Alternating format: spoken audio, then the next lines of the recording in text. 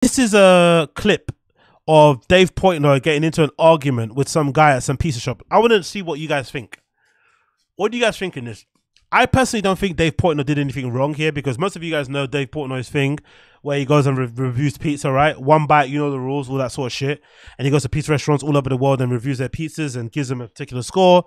And, you know, because it's a really popular show now, these reviews are starting to become quite um, important in like the success of a restaurant. If it's a good review, your place will get inundated with orders. You're, you're going to get lines around the block and shit. It's quite good for business and just general, it's quite a good piece of content.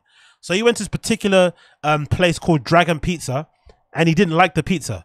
So he reviewed it outside the store like he does with all pizzas. And I guess the guy was listening to his review, and the owner comes out and starts to like berate um, Dave Portnoy. So I want you to watch this clip, guys, in the chat, and I want you to tell me who do you think's in the right? Do you, who's in the right or wrong here? Is Dave Portnoy in the right for like you know, it's basically insulting the guy's pizza right in front of outside of his shop, or um, does the owner have every right to defend his you know pizza that he's making? Like, what do you guys think? Let me play the clip. See, what we got one bite, everyone knows the rules. It is very thin. I do smell the Parmesan. See what we got. Oh, it's a floppy mess.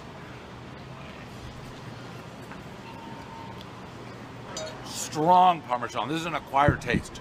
Like if you get this, know you're gonna get hit with a left, right in the face with Parmesan. I'm not the biggest Parm guy. How do you score that? Because if you like Parm, fine. If you don't, I don't. Six four. Dave, Yes.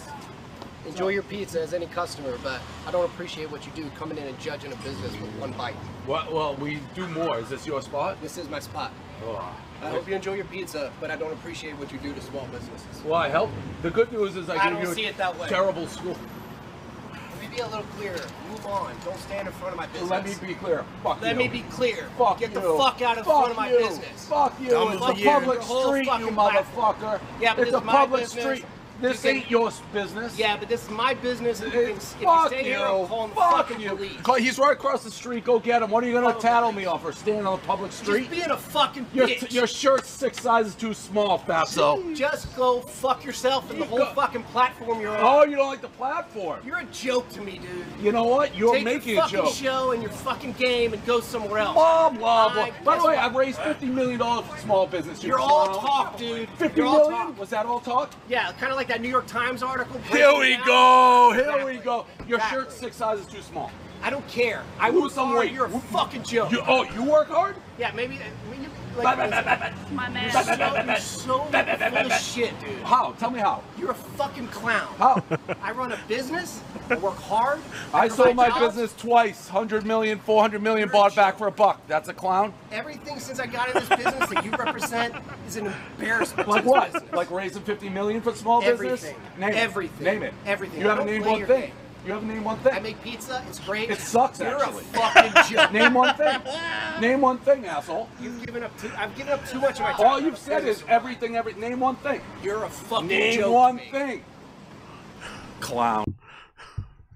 So, who do you think's on the right? who do you think's on the right there? I think both parties are on the right. I'm not gonna lie. The guy should stand up for his business, even if, even if you make shitty pizza.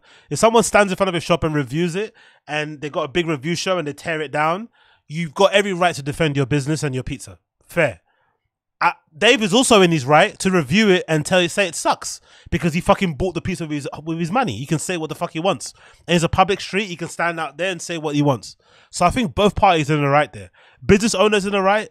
Dave Portnoy's in the right. But the the the interesting thing about it, the guy mentioned New York Times articles and shit. So I think that pizza shop owner isn't a fan of Dave. He doesn't like Dave Portnoy.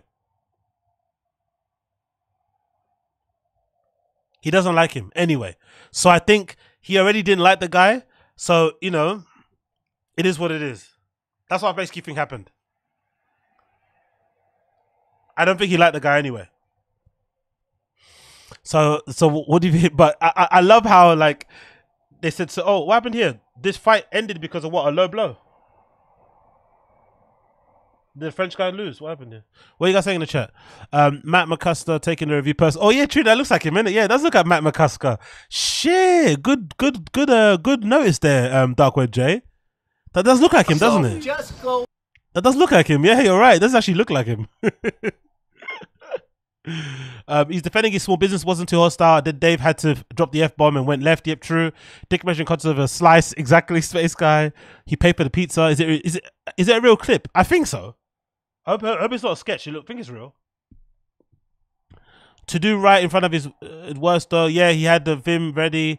Dave took it to next level though. Um, I don't know though. I don't know. I don't know. I don't know. I don't know. I wonder, can Dave fight? What do you guys think in the chat? Because Dave just, I love Dave Portnoy. I do like the guy, but he does talk a lot. He does talk a lot of shit, right? He does walk around talk a lot of shit. Like he's got, he's got strong rich guy energy, so he does talk a lot of shit. Do you think he can fight? I'm gonna say no. I think he's he's he's kind of guy that talks well. He can get like you know he's kind of got good comebacks and stuff. Like you know talking about the shit, the, the shirt being six sizes too small, but I don't think he can actually fight. Personally, what do you guys think? No, hell no. I told you the French guy would win. yes. yeah, Austin Casey, you did say that. Thank you. Um. So yeah, I don't know. I think both parties are in the right here. Um. Unfortunately, it went left. That's sad.